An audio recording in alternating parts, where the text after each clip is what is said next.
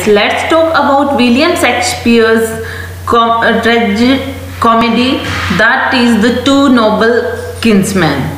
दो noble kinsmen हैं जिसका नाम पेलेमोन और अरसाइट है उनकी स्टोरी है। और ये जो ट्रेजिक कॉमेडी है that was first published in 1634 and ये कंसीडर होता है विलियम शेक्सपियर का लास्ट वर्क मतलब उनकी डेथ से पहले ये इनका फाइनल प्ले था और ये दोनों के कंट्रीब्यूशन से है William Shakespeare and John Fletcher okay और ये जो स्टोरी बेस्ड है, ये जैसा कि आप लोग कैंटरबरी टेल्स जॉफ्री चौसर की कैंटरबरी टेल्स पढ़ी होगी, उसमें फ़र्स्ट द नाइट टेल है नाइट्स टेल है, वो बिल्कुल ऐसी है उसी से लिया गया है, इसका जो प्लॉट है वो।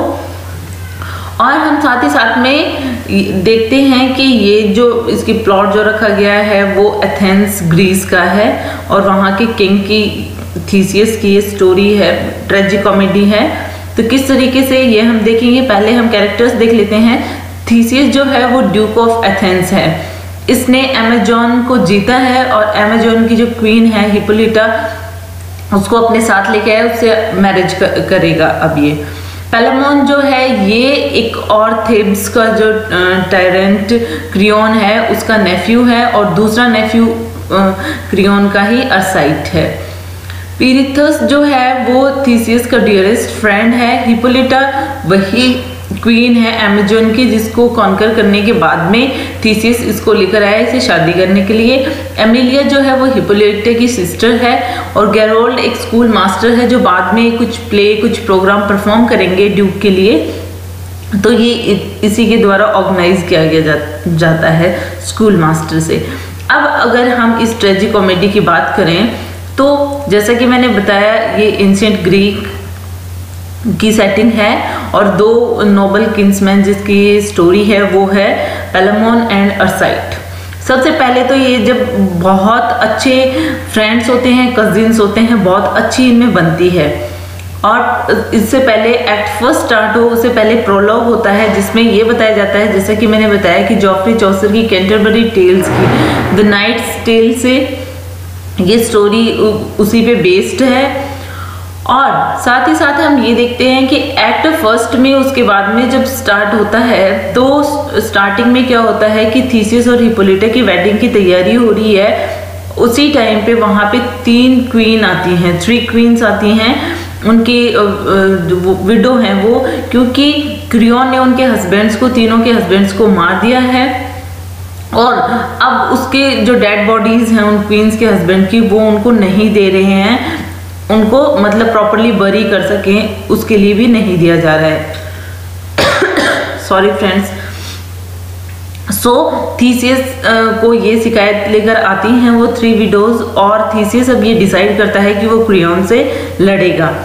उसके बाद में क्या होता है कि वो अपना जो भी प्रोग्राम होता है वो पोस्टपोन करता है और वो एग्री हो जाता है थीब्स के लिए। थीब्स के की तरफ़ डिपार्ट होने के लिए, वहाँ पे जाएगा। और उसे क्रियोन से वॉर करेगा। अरसाइट और पेलामोन जो हैं, वो यहाँ पे, जैसा कि हम जानते हैं कि ये क्रियोन के दोनों नेफ्यू हैं। ये क्रियोन जो टायरेंट है, उसको लाइक नहीं करते हैं, लेकिन ये उनको वॉर लड़नी पड़ती है अपने अंकल की तरफ़ से, क्योंकि ये थिप्स के लिए लड़ना चाहते हैं। तो यहाँ पे दूसरी तरफ़ क्या होता है कि दोनों जो कजिन होते हैं, वो बहुत अच्छी सर्विस प्रोवाइड करते हैं और थीसिस के साथ में लड़ते हैं। लेकिन एट लास्ट ट्रियोन जो है, वो हार जाता है और थीसिस जीत जाता है। और उसके बाद में जैसे ही फाइट खत्म होती है, इसको दोनों को मतलब दोनों घायल हो जाते हैं, पेलामोन और अरसाइड, और ये पहुँच जाते हैं एथेंस इनका वहाँ पे जो वुंडेड होते हैं ये दोनों तो इनका इलाज किया जाता है। और बाद में क्या होता है, वहाँ पे प्रिजन में रखा जाता है इन दोनों को। प्रिजन में ये दोनों विंडो में से पहले दिखता है पेलामोन और उसकी जो वो कह सकते हो कि इनकी जो वाइफ है हिपोलिटा इनकी सिस्टर है वो एमिलिया उसको वो देखते हैं पेलामोन उस प्रिजन की खिड़की से। बाद में असाइट भी देखता है उसको और दोनों वहाँ से इनका रिलेशंस जो है वो बिल्कुल ख़राब हो जाते हैं। दोनों पहले बहुत अच्छे फ्रेंड होते हैं, लेकिन बाद में वो उनके अंदर, जो फ्रेंडशिप है वो ख़त्म हो जाती है, उनके बीच का जो लव है वो ख़त्म हो जाता है। दूसरी तरफ़ जो है, अमीलिया बिल्कुल उनको जो दोनों मैन हैं उनको लव नहीं करती है अभी, उसको ये सब कुछ नहीं पता है। अब यहाँ पे क्या होता है कि आगे ये होता है कि जैसे ही वो प्रिजनर जेलर जो होता है, वो जिस जेल में रखा जाता है, उसकी जो डॉटर है, वो उसका एक वूवर है, उसको वो प्यार करती है और यहाँ पे उससे उससे उसकी शादी नहीं होती है। सिर्फ़ वो उन दोनों में मतलब आप ये कह सकते हो अट्रैक्शन है। यहाँ पे अमीलिया जो है ये दोनों में से किसी को सेलेक्ट नहीं कर पाती है, लेकिन पेलामोन और साइट दोनों ही अमीलिया को लाइक करते हैं। अमीलिया को दोनों ही चाहते हैं और वो दोनों क्या कोशिश करते हैं कि हम कैसे ना कैसे प्रिजन से बाहर आ जाएँ। इनमें से जो अरसाइट है, वो बाहर आ जाता है क्योंकि वो उसका थीसियस का जो फ्रेंड है पेरिथोस उसकी हेल्प से। उसको, उसका जानकार है, इसलिए अरसाइट को बाहर तो निकाल दिया जाता है प्रिजन से, लेकिन उसे एग्जाइल या फिर आप कह सकते हो कि वहाँ से बाहर निकाल दिया जाता है अथेंस से, कि ये कभी भी वापस नहीं आएगा। और वहाँ पे वो, लेकिन वो अमीलिया के बिना नहीं रह सकता था, इसलिए असाइड जो है, वो डिस्गाइज करके अपना जो रूप है, वो चेंज करके वहाँ पे आता है। और वो अपना कुछ सेलिब्रेशन जो कुछ कंट्री फॉल कुछ कुछ सेलिब्रेशन कर रहे होते हैं उनके साथ आ, आ, मतलब मिलकर और वहाँ पे ड्यूक के सामने कुछ प्रोग्राम परफॉर्म करता है जिससे ड्यूक खुश हो जाते हैं और बाद में अमीलिया का उसको एज ए अटेंडेंट रख लेते हैं। अब क्या होता है कि अरसाइड जो है वो इस तरीके से मतलब आसपास अमीलिया के आसपास रह पाता है as a servant as a attendant दूसरी तरफ़ जो जेलर की डॉटर की जो स्टोरी थी कि वो, जो उसको, जो जेलर की डॉटर है, वो पहला पेलामोन को लाइक करने लग जाती है और वो सोचती है कि मैं इसको अगर जेल से प्रिजन से बाहर निकाल दूँगी, अगर इसे फ्री कर दूँगी तो ये भी मुझे प्यार करने लग जाएगा। जैसे ही पेलामोन रिलीज़ होता है प्रिजन से, वो जेलर की डॉटर उसे रिलीज़ करवाती है। लेकिन पेलामोन जो है, वो अभी भी अमीलिया को ही लाइक करता है। वो एक फॉरेस्ट में जाता है। वहाँ पे जाने के लिए जेलर की डॉटर ने उसे बोला था और बाद में वो देखते हैं कि उसको वो जैसे जैसे घूम रहा होता है फॉरेस्ट में पेलामोन उसको अरसाइट मिलता है। अरसाइट को वो धोखेबाज कहता है और वो कहता है कि मैंने पहले एमिलिया को देखा था और तुमने मेरे साथ धोखा किया है। इस तरीके से दोनों में फाइट हो जा स्टार्ट हो जाती है। अरसाइड जो होता है, वो कहता है कि फेयर वॉर होनी चाहिए fair fight sorry fair fight होनी चाहिए। तो वो पेलामोन के लिए फ़ूड आर्मर्स वॉर्ड्स वगैरह सब कुछ लेके आता है कि तुम्हारी जो हेल्थ है वो रिकवर होगी, उसके बाद ही हम फाइट करेंगे। पेलामोन खाना वगैरह खाता है और जैसे फाइट के लिए तैयार होता है, दोनों फाइट स्टार्ट करते हैं। जेलर की जो डॉटर है, वो निकलती है पेलामोन को सर्च करने के लिए कि मैंने उसे फॉरेस्ट जाने के लिए कहा था, लेकिन जब फॉरेस्ट में पेलामोन नहीं मिलता है तो वो खुद को उस चीज़ के लिए रिस्पॉन्सिबल मानती है और वहाँ से निकल जाती है एक बोट में। बहुत ज़्यादा दुखी होती है और कहीं ना कहीं अपना जो मेंटली बैलेंस है, वो भी खो देती है। यहाँ पे दूसरी तरफ़ क्या होता है कि एक जब ड्यूक बाहर जाता है शिकार के लिए तो स्कूल मास्टर जो होता है गैरोल्ड वो कुछ प्रोग्राम वो डिसाइड करते हैं, जो वो ड्यूक के सामने पेश करेंगे। उसमें डांस वगैरह भी होता है, जिसमें उनको एक वुमन की ज़रूरत होती है। जब वो उसको मतलब जो वो मैड हो जाती है, जो जेलर की जो डॉटर होती है, वो उसको ले लेते हैं अपनी परफॉर्मेंस में। और जेलर की डॉटर को अपने साथ में लेकर as a part of entertainment और वो ड्यूक के सामने वो अपना जो भी प्रोग्राम होता है, वो परफॉर्म करते हैं। जो परफॉर्मर होते हैं डांस वगैरह और ये सब कुछ करते हैं तो इससे ड्यूब जो है, वो बहुत खुश होता है और उनको इनाम देता है। अरसाइट और पैलामोन दूसरी तरफ़ ड्यूएल के लिए तैयार है, वो मतलब लड़ाई कर रहे हैं। तो ये सब कुछ थीसिस देख लेता है और दोनों को ही एग्जीक्यूट करने के लिए कहता है ऑर्डर दे देता है। लेकिन हिपोलिटा, एमेलिया और पेरिथियस जो है, वो बीच में आ जाते हैं और वो कहते हैं कि इनको मारना नहीं चाहिए। इनको मतलब कुछ टाइम बाद में इन दोनों की सच में ही फाइट करवानी चाहिए और फाइट इतनी कि इन दोनों में से एक जो लूजर होगा, वो उसको एग्जीक्यूट कर दिया जाएगा और जो विनर होगा, उसको एमिलिया का हैंड मिलेगा। दैट मीन्स अमेलिया से शादी होगी उसकी। कजिन जो होते हैं दोनों वो एग्री हो जाते हैं इस कॉन्टेस्ट पे। फिर क्या होता है कि पेलामोन जो है, वो जेलर की डॉटर से मतलब जैसा कि क्लियर हो जाता है कि पेलामोन अमिलिया से ही लव करता है जेलर की डॉटर से नहीं करता है और वो अभी मैड हो चुकी है।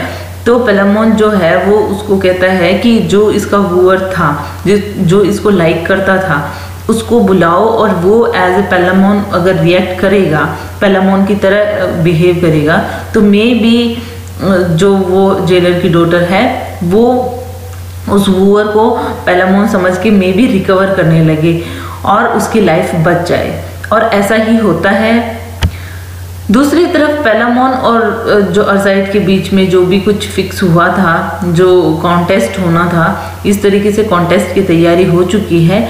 अमीलिया जो है, उन दोनों में से किसी को एक को चूज़ नहीं कर पाती है और वो उन दोनों की फाइट को देख भी नहीं सकती है, इसलिए वो एक सर्वेंट को हायर करती है, जो उनके बीच में हो रहे कॉन्टेस्ट के बारे में वो उसे बताएगा।